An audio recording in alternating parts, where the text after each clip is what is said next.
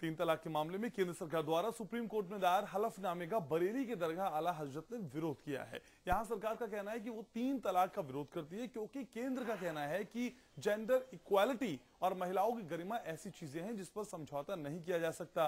वहीं सुन्नी मुस्लिमों के सबसे बड़े केंद्र ने इस हलफनामे का विरोध किया और कहा कि इस्लाम में महिलाओं की बहुत इज़्ज़त है और यह हलफनामा शरीयत और इस्लाम की सोच के खिलाफ है। तीन तलाक पर सुप्रीम कोर्ट में शुक्रवार को केंद्र सरकार ने हलफनामा दाखिल किया, जिसमें यह कहा गया कि ये महिलाओं की गरिमा के खिलाफ है। इस पर दरगाह आला हज़रत ने विरोध किया। उनका कहना है कि ये शरीयत की रोशनी में गलत है।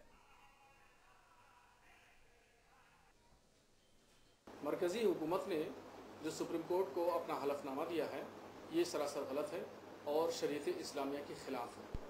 मरकज़ी हुकूमत को मुस्लिम पर्सनला के जो मसाइल हैं मामला हैं और शरीय की जो बारीकियाँ हैं, उन बारीकों को समझना चाहिए।